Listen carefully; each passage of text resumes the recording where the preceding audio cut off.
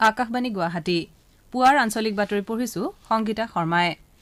এতিয়াৰ প্ৰধান বাতৰিসমূহ হ'ল এতিয়াও হিংসাৰ আশ্ৰয় লৈ থকা উগ্ৰপন্থীসকলক অস্ত্ৰ সম্বৰণ কৰি শান্তিৰ পথলৈ উভতি আহিবলৈ মুখ্যমন্ত্ৰী সৰ্বানন্দ সোণোৱালৰ আহান দিল্লীৰ গণৰাজ্য দিৱসৰ কুচকাৱাজত অসমৰ চাহ শিল্পক প্ৰতীকপটৰ ৰূপত প্ৰদৰ্শন কৰাৰ বাবে কেন্দ্ৰীয় চৰকাৰৰ অনুমোদন। নতুন দিল্লীত কালি কেন্দ্ৰীয় চৰকাৰ আৰু কৃষক সংগঠনসমূহৰ মাজত অনুষ্ঠিত সপ্তমলানি আলোচনাত দুয়োপক্ষই কোনো সহমতত উপনীত হ'ব নোৱাৰাত আঠ জানুৱাৰীত পুনৰ আলোচনা আৰু গুৱাহাটী আৰু ডিমা হাছাও জিলাৰ উমৰাংচুৰ মাজত অচিৰেই চি প্লেইন অৰ্থাৎ সামুদ্ৰিক উৰাজাহাজৰ সেৱা আৰম্ভ এতিয়া শুনক বিতং বাতৰি ৰাজ্য চৰকাৰে দুহেজাৰ ঊনৈশ চনত আত্মসমৰ্পণ কৰা তিনিচুকীয়া ডিব্ৰুগড় চৰাইদেউ আৰু শিৱসাগৰ জিলাৰ লগতে শদিয়াৰ বাৱন্নগৰাকী আত্মসমৰ্পণকাৰী আলফা সদস্যৰ নামত চাৰি লাখ টকাকৈ ফিক্সড ডিপজিটৰ ব্যৱস্থা কৰিছে। মুখ্যমন্ত্ৰী সৰ্বানন্দ সোণোৱালে কালি মৈত্ৰী আঁচনিৰ অধীনত মাকুম থানাৰ নৱ নিৰ্মিত ভৱনটো উদ্বোধন কৰি আলফা সদস্যকেইজনৰ হাতত ফিক্সড ডিপজিটৰ তথ্যপাতি প্ৰদান কৰে। অনুষ্ঠানত ভাষণ দি শ্ৰীসোণোৱালে কয় যে যোৱা চাৰে চাৰি বছৰে ৰাজ্য চৰকাৰে উগ্ৰপন্থী সদস্যসকলক মূল সুঁতিলৈ উভতাই অনাৰ বাবে নিৰৱচ্ছিন্নভাৱে প্ৰয়াস চলাই আহিছে। শ্ৰীসোণোৱালে এতিয়াও হিংসাৰ আশ্ৰয় লৈ থকা উগ্ৰপন্থীসকলক অস্ত্ৰ সম্বৰণ কৰি শান্তিৰ পথলৈ উভতি আহিবলৈ আহান জনায়। মুখ্যমন্ত্ৰীয়ে কয় যে দুৰ্নীতিমুক্ত অসম গঢ়াৰ বাবে অসম চৰকাৰে যি পদক্ষেপ লৈছে সেয়া বাস্তৱায়িত কৰাত অসম আৰক্ষীয়ে বিশেষ ভূমিকা পালন কৰিছে। অসম লোকসেৱা আয়োগৰ সংস্কাৰ সাধনৰ ফলত মেধাৰ ভিত্তিত যুৱক যুৱতীসকলে কৰ্ম সংস্থাপন লাভ কৰিছে বুলি তেওঁ প্ৰকাশ কৰে। সমাগত গণৰাজ্য দিৱসৰ কুচকাৱাজত অসমৰ চাহ শিল্পক প্ৰতিফলিত কৰি নতুন দিল্লীৰ ৰাজপথত আকৰ্ষণীয় ৰূপত প্ৰতীক পথ প্ৰদৰ্শন কৰা হ'ব। ৰাজ্যখনৰ বৃহৎ চাহ উদ্যোগৰ লগত জড়িত লোকসকলৰ বিভিন্ন কলাকৃষ্টি বিশ্ববাসীৰ সন্মুখত প্ৰদৰ্শিত কৰাৰ উদ্দেশ্যে ৰাজ্যৰ সাংস্কৃতিক মন্ত্ৰালয়ে বিশেষ পদক্ষেপ গ্ৰহণ কৰিছে। উল্লেখযোগ্য যে কৰোনা পৰিস্থিতিৰ প্ৰতি লক্ষ্য ৰাখি এইবাৰ গণৰাজ্য দিৱসৰ কাৰ্যসূচী কেতবোৰ বিশেষ নীতি নিয়মৰ মাজেৰে অনুষ্ঠিত হ'ব। ৰাজ্যৰ সাংস্কৃতিক সঞ্চালকালয়ৰ সূত্ৰই জানিবলৈ দিয়া মতে চাহ বাগিচাৰ মাজত এটিকলি দুটিপাত ছিঙি থকাৰ লগতে চাহ জনগোষ্ঠীৰ ঝুমুৰ নৃত্য আদিৰে এই প্ৰতীকপটটো সজাই তোলা হ'ব। প্ৰতিৰক্ষা মন্ত্ৰালয়ে অসমৰ প্ৰতীকপটটো গণৰাজ্য দিৱসৰ বাবে অনুমোদন জনোৱাৰ বাতৰিয়ে ৰাজ্যবাসীক উৎফুল্লিত কৰি তুলিছে। নতুন দিল্লীত কালি কেন্দ্ৰীয় চৰকাৰ আৰু কৃষক সংগঠনসমূহৰ মাজত সপ্তমলানি আলোচনা অনুষ্ঠিত হয়। বিজ্ঞান ভৱনত অনুষ্ঠিত এই আলোচনাত একচল্লিছটা কৃষক সংগঠনৰ প্ৰতিনিধিয়ে অংশ লয়। আলোচনাত কেন্দ্ৰীয় কৃষিমন্ত্ৰী নৰেন্দ্ৰ সিং টোমৰ উদ্যোগ আৰু বাণিজ্য মন্ত্ৰী পীয়ুষ গোৱেল আৰু উদ্যোগ আৰু বাণিজ্য দপ্তৰৰ ৰাজ্যিক মন্ত্ৰী সোম প্ৰকাশে অংশগ্ৰহণ কৰে। আলোচনাৰ আৰম্ভণিতে সংসদত নতুনকৈ গৃহীত কৃষি আইনকেইখনৰ বিৰোধিতা কৰি কৃষকসকলে সাব্যস্ত কৰা প্ৰতিবাদৰ সময়ত প্ৰাণ হেৰুওৱাসকলৰ আত্মাৰ সদগতিৰ অৰ্থে দুই মিনিট মৌনতা পালন কৰা হয়। আলোচনাকালত শ্ৰীটোমৰে কয় যে পূৰ্বৰ বৈঠকত হোৱা আলোচনাৰ কথা বিবেচনা কৰি কৃষকসকলৰ সমস্যাৰ সমাধান সূত্ৰ উলিওৱাৰ বাবে কেন্দ্ৰীয় চৰকাৰ প্ৰতিশ্ৰুতিবদ্ধ।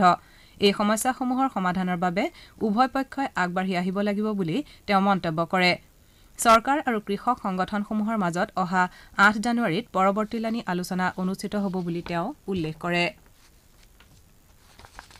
কৰিমগঞ্জ জিলাৰ বদৰপুৰত উপস্থিত হোৱা লাইফ লাইন এক্সপ্ৰেছ নামৰ ৰেলগাড়ীখনে আজিৰে পৰা চৌবিছ জানুৱাৰীলৈকে জনসাধাৰণৰ বাবে মুক্ত স্বাস্থ্য সেৱা আগবঢ়াব। এই ৰেলখনত বিনামূলীয়া চিকিৎসাজনিত পৰামৰ্শ চিকিৎসা আৰু অস্ত্ৰোপচাৰৰ লগতে বিভিন্ন পৰীক্ষাগাৰো উপলব্ধ হ'ব। এখন হাস্পতালৰ দৰেই সকলো সা সুবিধাৰে সুসজ্জিত ৰেলখনত চিকিৎসকৰ এটা দল অনবৰতে সাজু হৈ থাকিব। উল্লেখযোগ্য যে ঊনৈছশ একানব্বৈ চনৰ পৰা এই ৰেলগাড়ীখনে দেশৰ বিভিন্ন প্ৰান্তত বিনামূলীয়া সেৱা প্ৰদান কৰি আহিছে। ৰাজ্য চৰকাৰৰ আইদেউ সন্দিকৈ মহিলা সন্মান আঁচনিৰ প্ৰথম পৰ্যায়ৰ বাবে ওঠৰ জানুৱাৰীৰ পূৰ্বে আবেদন পত্ৰ জমা দিবলৈ ৰাজ্য চৰকাৰে হিতাধিকাৰীসকলৰ প্ৰতি আহান জনাইছে। এই আঁচনিৰ অধীনত অবিবাহিত বিবাহ বিচ্ছেদ হোৱা আৰু অকলশৰীয়াকৈ থকা মহিলাসকলক প্ৰতিমাহে তিনিশ টকাকৈ পেঞ্চন প্ৰদান কৰা হ'ব। পঁয়ত্ৰিশ বছৰৰ ওপৰৰ আৰু ষাঠি বছৰৰ তলৰ মহিলাই এই পেঞ্চনৰ বাবে আবেদন কৰিব পাৰিব। আবেদনকাৰী কোনো চৰকাৰী অৰ্ধ চৰকাৰী ৰাজহুৱা খণ্ডৰ কোনো গোট নাইবা চৰকাৰী অনুদান পোৱা কোনো সংগঠনৰ চাকৰিয়াল হ'ব নোৱাৰিব। আবেদন পত্ৰ পূৰণ সংক্ৰান্তত সবিশেষ জানিবৰ বাবে নিজ নিজ গাঁও পঞ্চায়ত পৌৰসভা অথবা পৌৰ নিগমৰ কাৰ্যালয়ত যোগাযোগ কৰিব পাৰিব। আপোনালোকে বাতৰি শুনিছে আকাশবাণী গুৱাহাটী কেন্দ্ৰৰ পৰা। শ্ৰোতাসকলে এই বাতৰি আমাৰ YouTube channel A I R news Guwahati অথবা news on A I R app যোগেও শুনিব পাৰিব। গুৱাহাটী আৰু ডিমা হাছাও জিলাৰ উমৰাংচুৰ মাজত অচিৰেই চি প্লেন অৰ্থাৎ সামুদ্ৰিক উৰাজাহাজৰ সেৱা আৰম্ভ হ'ব। কেন্দ্ৰীয় বন্দৰ জাহাজ আৰু জলপথ মন্ত্ৰী মনচুখ মাণ্ডাভিয়াই এই বিষয়ে ঘোষণা কৰিছে। অসমকে ধৰি দেশৰ কেইবাটাও নিৰ্বাচিত জলপথত এই সেৱা আৰম্ভ কৰাৰ বাবে প্ৰস্তুতি চলোৱা হৈছে বুলি শ্ৰীমাণ্ডাভিয়াই প্ৰকাশ কৰে। উল্লেখযোগ্য যে মন্ত্ৰালয়ৰ অধীনৰ সাগৰমালা উন্নয়ন কোম্পানী লিমিটেডে এই চি প্লেন সেৱাৰ সমগ্ৰ ব্যৱস্থাটো তদাৰক কৰিব। গুৱাহাটী আৰু উমৰাংচুৰ মাজত এই সেৱা আৰম্ভ হোৱাৰ লগে লগে পঁয়ত্ৰিশ মিনিটৰ ভিতৰত দুয়োখন ঠাইৰ মাজৰ দূৰত্ব অতিক্ৰম কৰিব পৰা যাব। ইতিমধ্যে গুজৰাটৰ নৰ্মদা জিলাৰ কেৱৰিয়া আৰু আহমেদাবাদৰ সবৰমতী ঘাটৰ মাজত এই চি প্লেন সেৱা আৰম্ভ হৈছে। মাজুলী আৰু কাজিৰঙাৰ মাজতো এই সেৱা আৰম্ভ কৰাৰ পৰিকল্পনা কৰা হৈছে।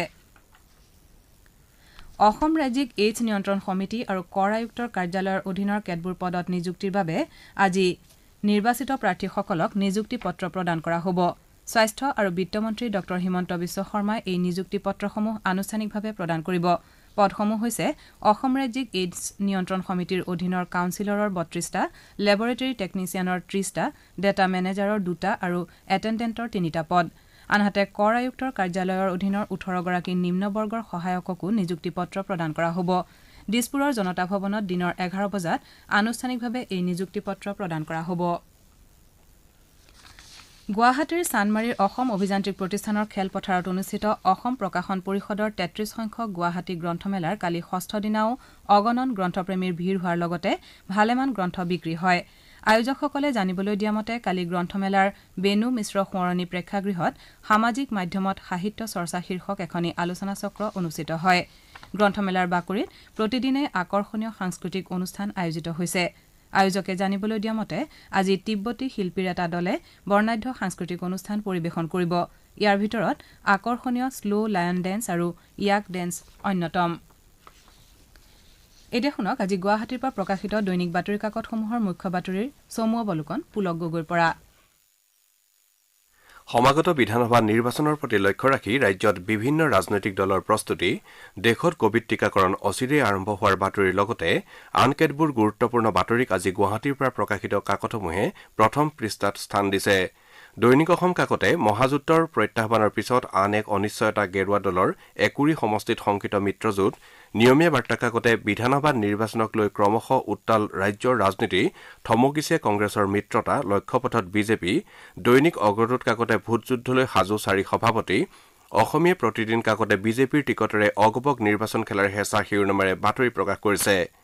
ৰাজ্য চৰকাৰৰ কেৱল হিতাধিকাৰী সৃষ্টি আঁচনিৰ বিৰূপ প্ৰভাৱ ৰাজ্যত উদ্বেগজনকভাৱে বাঢ়িছে নিবনুৱা এই সন্দৰ্ভত দৈনিক জনভূমি কাকতে এটা বাতৰি প্ৰথম পৃষ্ঠাত প্ৰকাশ কৰিছে।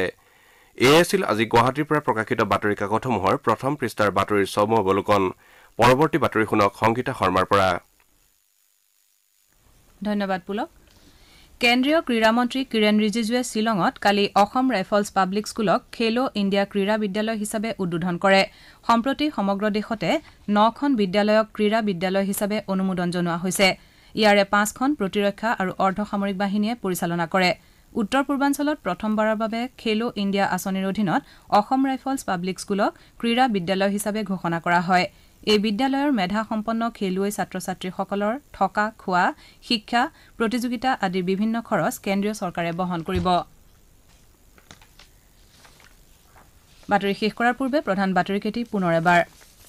এতিয়াও হিংসাৰ আশ্ৰয় লৈ থকা উগ্ৰপন্থীসকলক অস্ত্ৰ সম্বৰণ কৰি শান্তিৰ পথলৈ উভতি আহিবলৈ মুখ্যমন্ত্ৰী সৰ্বানন্দ সোণোৱালৰ আহান দিল্লীৰ গণৰাজ্য দিৱসৰ কুচকাৱাজত অসমৰ চাহ শিল্পক প্ৰতীকপটৰ ৰূপত প্ৰদৰ্শন কৰাৰ বাবে কেন্দ্ৰীয় চৰকাৰৰ অনুমোদন।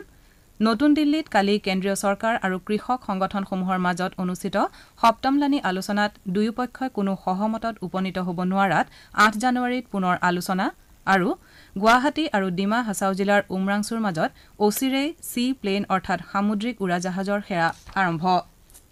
কৰাৰ পূৰ্বে কওঁ মাস্ক পৰিধান কৰক হাত ধুৱক আৰু পৰস্পৰৰ মাজত কমেও দুগজ দূৰত্ব বজাই ৰাখক। কভিডক পৰাজিত কৰক। আমাৰ এতিয়াৰ বাতৰি ইমানতে অন্ত পৰিল